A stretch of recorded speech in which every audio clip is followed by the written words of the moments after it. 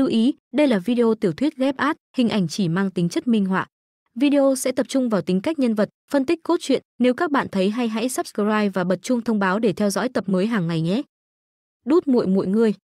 Toàn trường võ giả trong nháy mắt té xỉu, như là đồng thời mồ hôi lạnh nhễ nhại, thay người trẻ tuổi kia đổ mồ hôi. Luật Thực Nguyên cũng là kinh hãi, trong mắt đầy vẻ phức tạp. Người trước mắt này hai năm trước còn bị hắn đuổi khắp nơi chạy chối chết, lúc đó chỉ có nhất tinh vũ đế tu vi, lúc này tái hiện, không ngờ đã là thất tinh vũ đế. Hơn nữa để hắn hoảng sợ là lúc trước đối phương nhất tinh vũ đế, chính mình đã không làm gì được hắn, hiện tại tu vi một chút đề cao 6 trình tự. Trên trán của Luật Thực Nguyên toát ra mồ hôi lạnh tới, hắn tuy rằng cũng tăng lên một tinh, trên tu vi còn là ngăn chặn đối phương một bậc, nhưng có cảm giác sợ hết hồn hết vía, căn bản không nổi lên được tâm chống lại. Đặc biệt Lý Vân Tiêu đạm nhiên trực diện lão đầu kinh khủng kia, càng làm hắn theo không kịp, trên dũng khí trong khoảnh khắc giật lại cự ly, võ đạo chi tâm cao thấp lập tức phân ra, thậm chí là khác nhau một trời một vực. Lão đầu dáng tươi cười thoáng cái động lại, xoay người lại hung ác nhìn chằm chằm Lý Vân Tiêu. Đột nhiên trong mắt hiện ra vẻ kinh dị, thoáng chút trở nên thập phần giật mình đứng lên, cả kinh kêu lên: "Thật trẻ tuổi, Thất Tinh Vũ Đế không có khả năng, ngươi có phải đã dùng loại thuật giấu giếm gì đó che được hai mắt của ta?" Hắn sừng sốt một chút, lại khó có thể tin lắc đầu, lẩm bẩm, "Không có khả năng a, ai có thể thi thuật giấu giếm được ta?" Ha ha ha ha, vừa lúc cùng nhau chộp tới quay về nghiên cứu, lại thêm một thu hoạch ngoài ý liệu, chuyến đi lần này không tệ, chuyến đi này không tệ a. Lão đầu lẩm bẩm sau một lúc, trong đôi mắt bắn ra hung quang, một trận nhe răng cười không ngớt. Lý Vân Tiêu giơ lên mi mắt, lạnh lùng nhìn hắn, châm chọc nói, vốn định chờ sau chuyện Hồng Nguyệt Thành lại đi thu thập ngươi, nghĩ không ra ngươi cũng chủ động đi ra. Cũng tốt, tiết kiệm bản thiếu đi một chuyến đến Ba Kiền Sơn. Lão đầu cả người chấn động, khuôn mặt trong nháy mắt đã vặn vẹo, hai mắt như điện, lớn tiếng quát dẹp đường, ngươi là ai? Đối phương một lời nhân tiện nói ra chỗ hắn ẩn thân, làm hắn vạn phần hoảng sợ, cực độ cảnh giác. Phải biết rằng thân phận và nơi ẩn thân của hắn đều rốt cuộc cực kỳ bí ẩn việc, hơn nữa chuyện liên quan trọng đại, trên người sát ý cùng nhau, nhất thời đem Lý Vân Tiêu triệt để tập trung. Ừ, cổ khí tức này, lão đầu thần thức đem Lý Vân Tiêu bao lại, nhất thời có loại cảm giác quen thuộc ở trong lòng dâng lên, nhướng mày. Trong giây lát sắc mặt đại biến, tức giận nói, nguyên lai là ngươi. Lý Vân Tiêu châm chọc cười, trong mắt hàn quang chớp động, lạnh lùng nói, thế nào, nghĩ tới sao? Khâu Mục Kiệt, ngươi cái tên điên này. Lão đầu chính là Phong Tử Kiệt, gương mặt hung ác vẻ, hung hăng nói, "Hùng, đạp hỏng thiết hải không tìm thấy, lúc đạt được lại không tốn thời gian, tiểu tử ngươi đem tuyệt thế thần thể của ta giấu đi đâu rồi?" Lúc trước trên Đông Hải hãm không đảo, Lý Vân Tiêu trợ giúp tân thần giải trừ phong ấn trong cơ thể, xuyên thấu qua phong ấn lực nhìn trộm được một tia cảnh tượng trên Ba Kiền Sơn.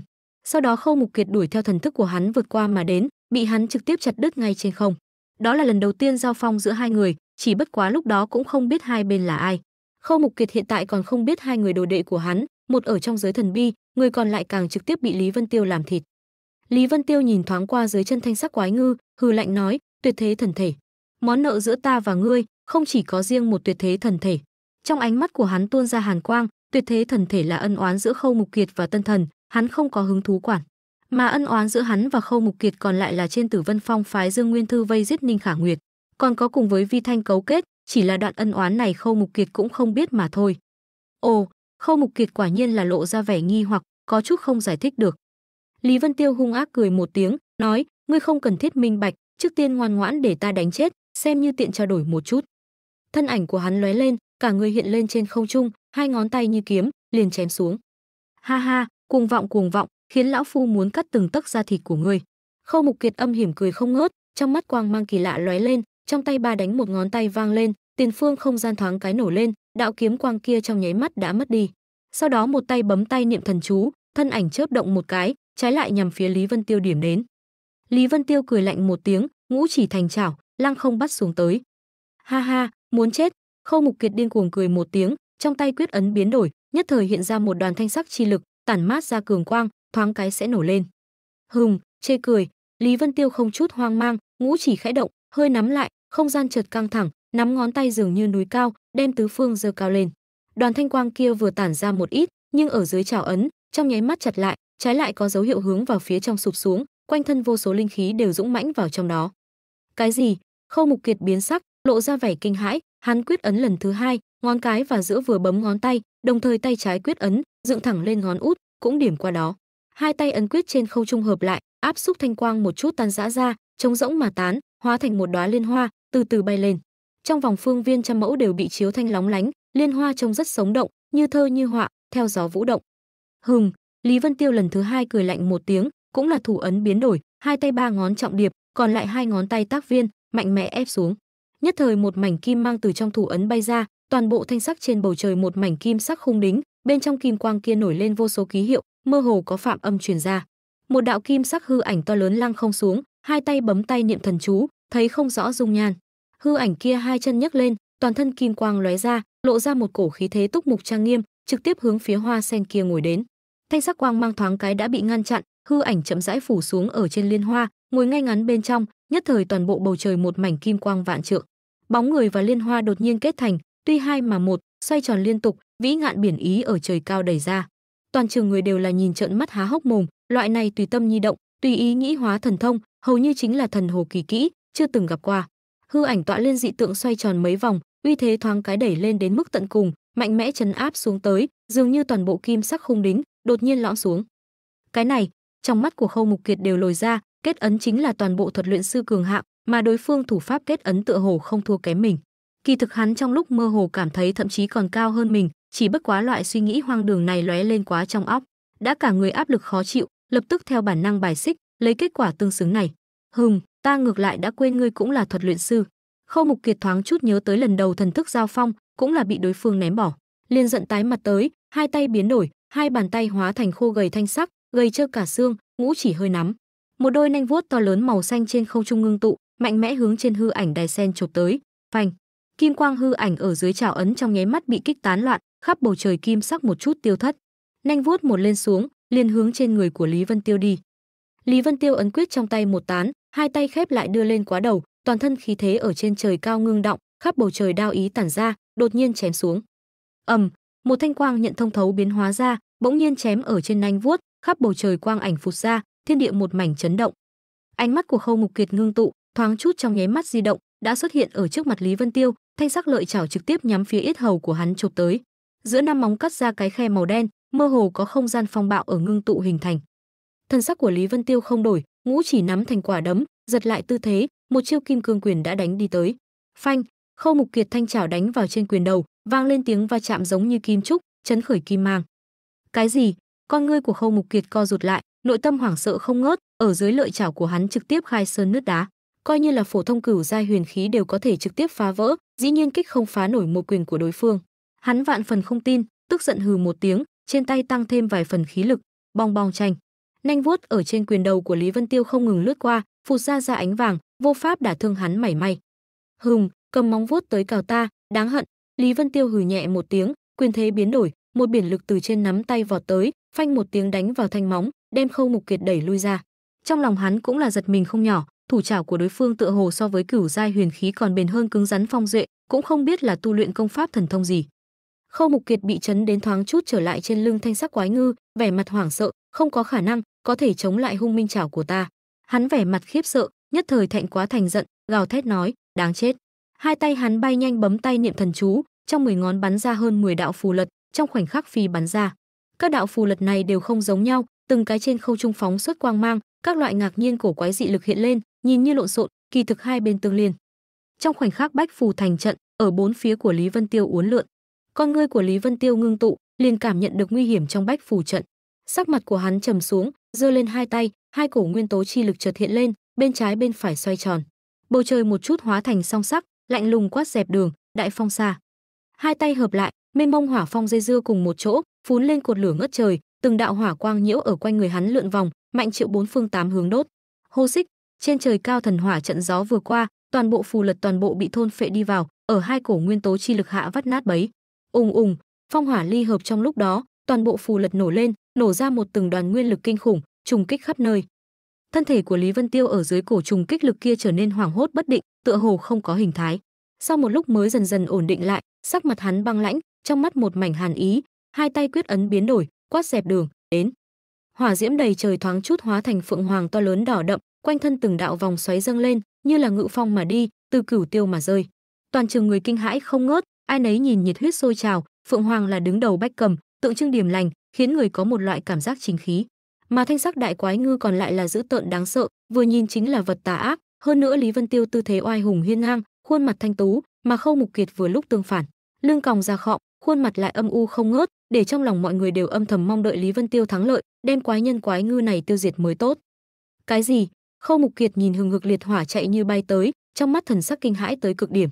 Hắn phát hiện Lý Vân Tiêu xuất hiện bất quá chỉ chốc lát thời gian, cho hắn kinh hãi so với vài chục năm còn nhiều hơn. Bản thân hắn chính là đứng đầu thuật luyện sư, tự nhiên có thể cảm thụ được ngọn lửa và trận gió kia không giống tầm thường, không chỉ có phẩm chất cực cao, hơn nữa như là có linh tính vậy, tựa hồ là sống. Chiến hạm ngư, hắn mạnh mẽ dậm chân một cái, hung hăng dẫm nát trên lưng quái ngư. Thanh sắc quái ngư trong bụng một trận ủng ục vang lên, từ trong miệng phun ra một cái bong bóng, trong khoảnh khắc hóa thành mấy mẫu, đem chính mình bao lại. Hơn nữa bên trong bong bóng tuôn ra đại lượng thanh sắc dịch thể, một chút đem toàn bộ không gian bao phủ. Ầm ầm, thần hỏa trận gió hóa thành hình thái phượng hoàng trực tiếp đánh vào trên bong bóng, trong khoảnh khắc lan tràn ra, đem toàn bộ cái bong bóng đều nuốt hết. Cả thành mọi người nhìn lại, giống như là trên bầu trời một trái cầu lửa thật lớn, bao trùm sổ mẫu to lớn, hừng hực thiêu đốt, to lớn nhiệt lượng làm cho cả thành phố ôn độ chợt đề thăng. Phanh, cái bong bóng rốt cục không chống được thiêu đốt, thoáng chút đã vỡ ra được, thanh sắc nước cũng bắn tứ tán, còn chưa hạ xuống đã toàn bộ hóa thành hơi nước, bốc hơi lên không còn chút nào.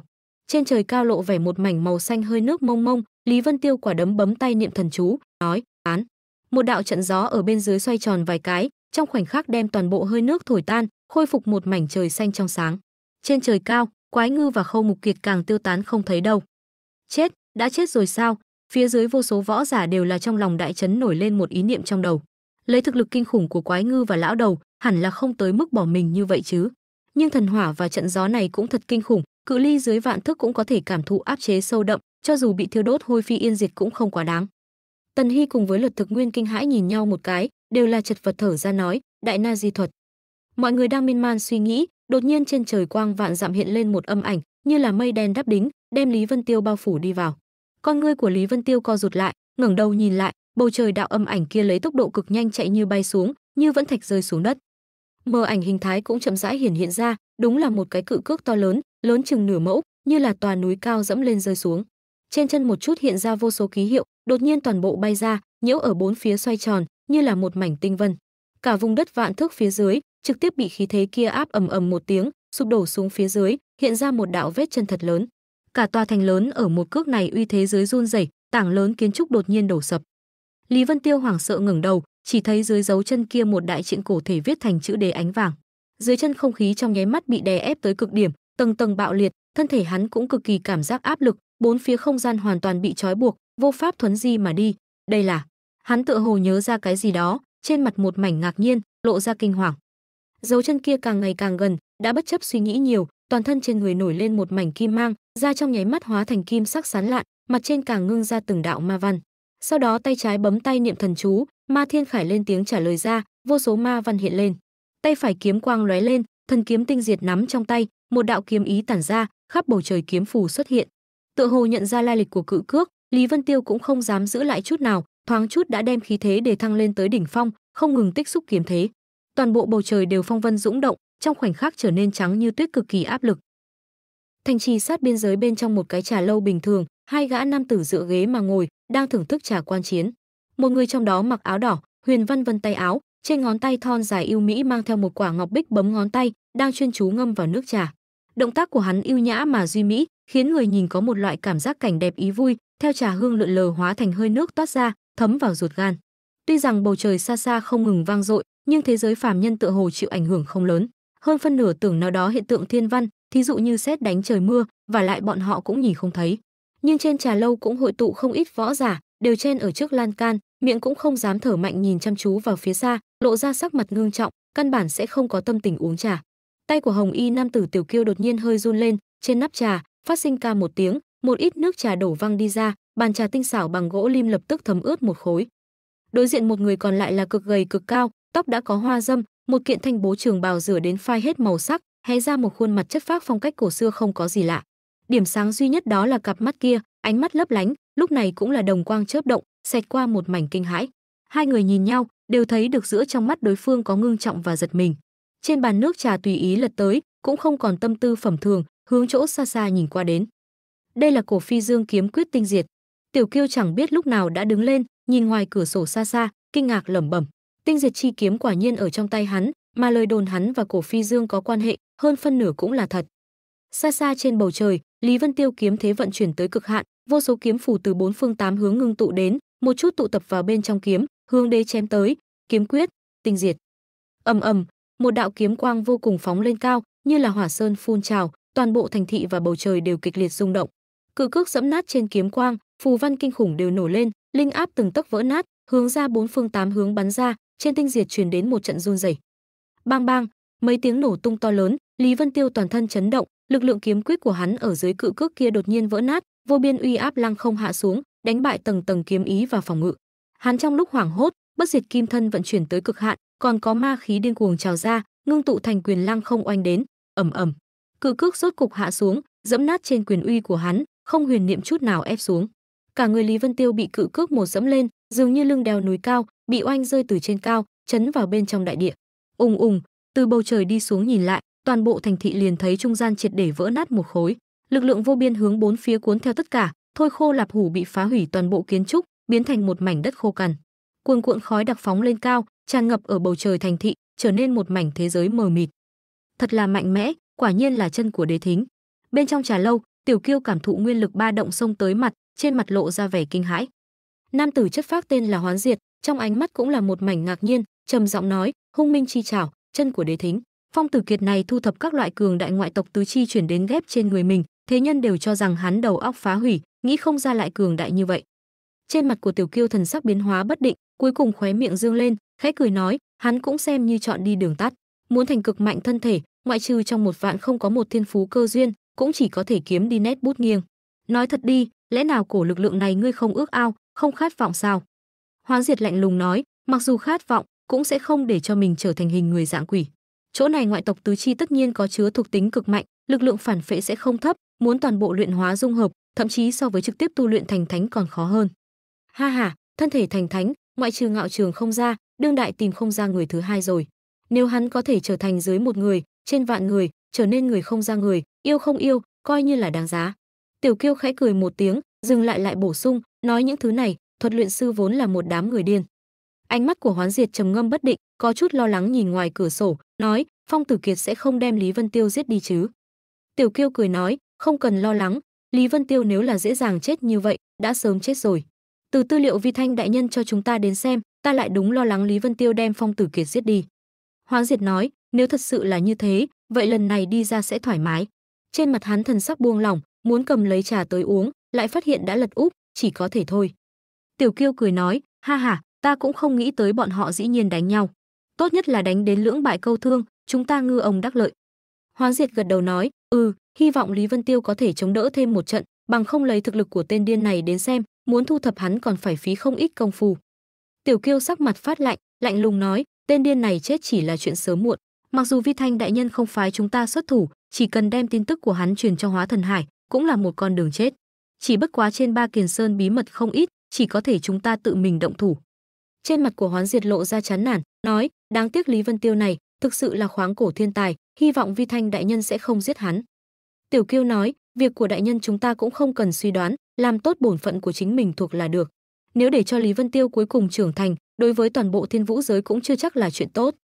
Hai người lời nói không có bất kỳ che giấu nào, trong trà lâu còn lại võ giả cũng nghe được rõ ràng hết thảy, đều là hơi biến sắc mặt.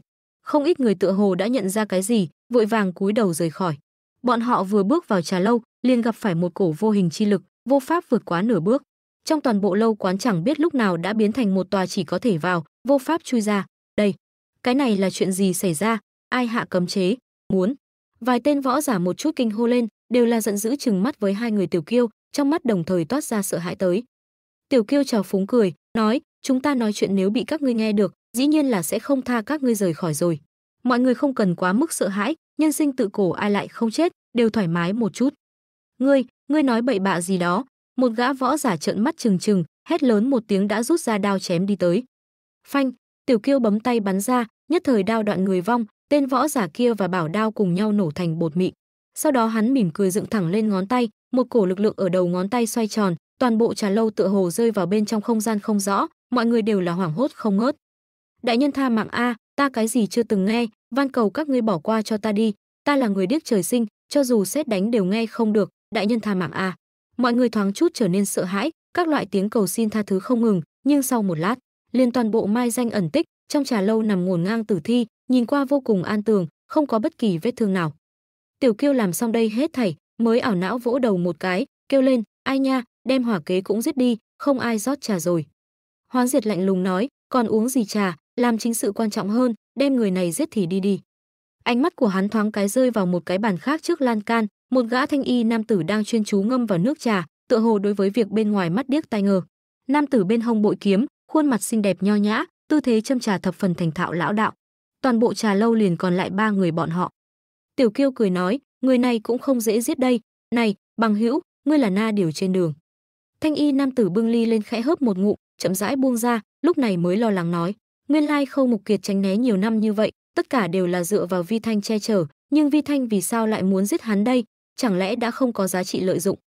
Tiểu Kiêu và Hoán Diệt nhìn nhau một cái, Tiểu Kiêu liền nhẹ nhàng cười, bước chân hướng phía thanh niên kia nam tử đi đến, các hạ xem ra rất lạ mặt, lẽ nào nhận thức đại nhân nhà ta? Thanh y nam tử lạnh nhạt nói, không biết. Không biết, Tiểu Kiêu sừng sốt một chút, cười nói, ngươi nói xạo, ta xem ngươi và Phong Tử Kiệt rất quen, chẳng lẽ là hảo hữu rất nhiều năm trước? Phải biết rằng Phong Tử Kiệt những năm gần đây ẩn giấu ở trên Ba Kiền Sơn, gặp bất kỳ người nào chúng ta đều cũng có ghi chép. Thanh y nam tử nói, cùng với Khâu Mục Kiệt xem như quen biết đi, chưa nói tới nhận thức. Nga, Tiểu Kiêu không nhanh không chậm nói rằng, vì sao trước ngươi cùng hắn nói chuyện với nhau chỉ chốc lát, để hắn hưng phấn như đánh máu gà, trực tiếp xuất thủ bắt giữ nữ tử kia và hải tộc tiểu tử đây. Thanh y nam tử thân thể khẽ run lên, trong mắt bắn ra từng đạo lệ mang, lạnh giọng nói, đồ vật có thể ăn bậy, nói cũng không thể nói lung tung. Khâu Mục Kiệt xuất thủ bắt người là chuyện của mình hắn, cùng ta có quan hệ gì, nói lung tung là sẽ chết người. Ha ha, nhìn ngươi sợ thành bộ dáng này. Tiểu Kiêu một chút cảm thấy hứng thú, nháy mắt nói, "Ừ, những lời này tiết lộ hai cái tin tức. Một đó là nữ tử kia và hải tộc tiểu tử tất nhiên lai lịch không nhỏ, Phong Tử Kiệt chỉ đối với một ít hình thù kỳ lạ cổ quái sinh vật cường đại cảm thấy hứng thú, mà những sinh vật này không có chỗ nào mà không phải là biển rộng nhất phương chi vương, có thể làm cho hắn giống như đánh máu gà bắt người. Thân phận của nữ tử kia và hải tộc tiểu tử không đơn giản, hai đó là ngươi biết thân phận của hai người kia, muốn mượn Phong Tử Kiệt tay của bọn họ, rồi lại sợ người khác biết là ngươi làm. Ừ, cứ như vậy càng thêm chứng minh hai người kia thân phận không đơn giản. Tiểu Kiêu thấy Thanh Y nam tử sắc mặt của càng ngày càng khó coi, cười đắc ý nói, đừng có không thừa nhận, ngươi và Phong Tử Kiệt tiếp xúc chúng ta nhưng khi nhìn nhất thanh nhị sở, tuy rằng không biết các ngươi nói chuyện cái gì, nhưng tất nhiên là quan hệ hai người kia thân phận, hai người kia rốt cuộc là lai lịch ra sao. Nói cho chúng ta biết có được hay không, thực sự rất hiếu kỳ đấy, tò mò tâm ngứa. Thanh y nam tử sắc mặt âm trầm không gì sánh được, tay trái nắm ở trên chuôi kiếm, từng vòng nguyên lực ba động từ trên người hắn nhộn nhạo đi ra, tựa hồ muốn giết người diệt khẩu, nhưng không có lòng tin có thể đánh chết hai người đối phương. Hoán Diệt không nhịn được nói, dài dòng cái gì, trực tiếp đưa hắn phế bỏ sẽ chậm rãi khảo vấn là được. Hùng, thanh y nam tử hừ lạnh một tiếng, tựa hồ cực kỳ khinh thường, từ trên bàn đứng lên, nói, hôm nay liền buông tha hai người các ngươi, hy vọng các ngươi có mạng sống rời khỏi Hồng Nguyệt Thành. Hắn bước ra một bước định rời khỏi. Nha nha, bằng hữu ngươi ở đây kể chuyện cười sao? Tiểu Kiêu híp mắt cười nói, chúng ta đều quyết định muốn giết ngươi, ngươi còn muốn đi? Hắn nghiêng người nhảy tới, trực tiếp ngăn ở trước mặt thanh y nam tử, tay phải vừa nhấc, một đạo dấu tay liền điểm qua đến. Thanh y nam tử bất vi sở động, hai ngón tay khép lại, đặt ở chỗ mi tâm, quát khẽ, Thiên Vũ phòng ngầm. Nơi mi tâm quang mang chuyển động, một cổ biển lực đẩy ra, bốn phía không gian hơi bị nghịch chuyển, thoáng cái treo ngược lên. Tinh thần công kích, Tiểu Kiêu biến sắc, cả kinh nói, ngươi cũng là thuật luyện sư. Hoán diệt, mau xuất thủ, hắn mạnh mẽ hai tay hợp ấn, lực đạo tầng tầng tăng mạnh, đẩy đi tới. Hoán diệt cũng là giật mình, cả người đột nhiên tiêu thất ở tại chỗ, một đạo hồng quang trống rỗng hiện lên, sắc bén dị thường chém kích xuống tới. Tranh, thanh y nam tử đột nhiên rút kiếm, một đạo hàn quang lăng liệt ở trong trà lâu chớp động, toàn bộ không gian tựa hồ hóa thành một hắc động cự đại.